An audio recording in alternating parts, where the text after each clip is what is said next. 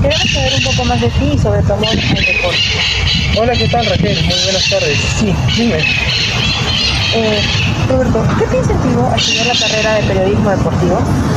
Esta carrera es una carrera a la cual yo le tengo mucho cariño y respeto. De hecho, desde muy pequeño siempre quise estudiarla y tal vez por motivos de trabajo de mis padres, de que vivía en Lima, en el colegio vivía en Lima, luego me trasladé a provincias y bueno, aquí es donde terminé mis estudios de colegio y terminé estudiando también otra carrera que no es la de periodismo deportivo porque aquí en el lugar donde yo vivo no hay esa carrera. Y bueno, con el tiempo y también con la pandemia creo que experimenté nuevas cosas, eh, nuevas emociones y creo que vi en la pandemia la oportunidad de poder pues lograr este sueño que desde siempre tuve.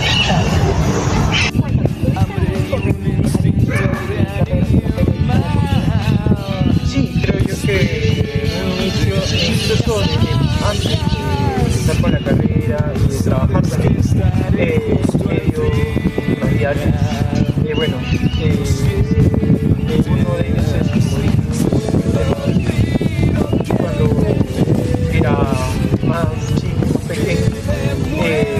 en provincia, en provincia no podía yo estudiar la carrera de tal vez puede inclinarme por alguna al final por otra carrera, pero ya luego me a estudiar lo que estoy estudiando ahora. Bien fue algo triste para todos nosotros, pero también nos ayudó a reflexionar y a ver nuevos aires, ¿no? a reinventarse. ¿Qué expectativas tienes para el futuro? Eh, bueno, respecto a mi futuro, eh, hoy por hoy trabajo en radio, Radio Clase, eh, una radio conocida aquí en la ciudad donde vivo.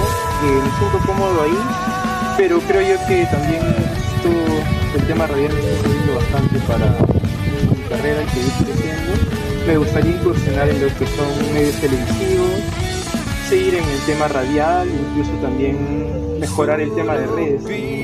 Eh, participo en una red social como los TikTok, hablando de fútbol. Y creo que también eh, con el estilo voy a poder desarrollar mejor eh, mi carrera profesional y espero.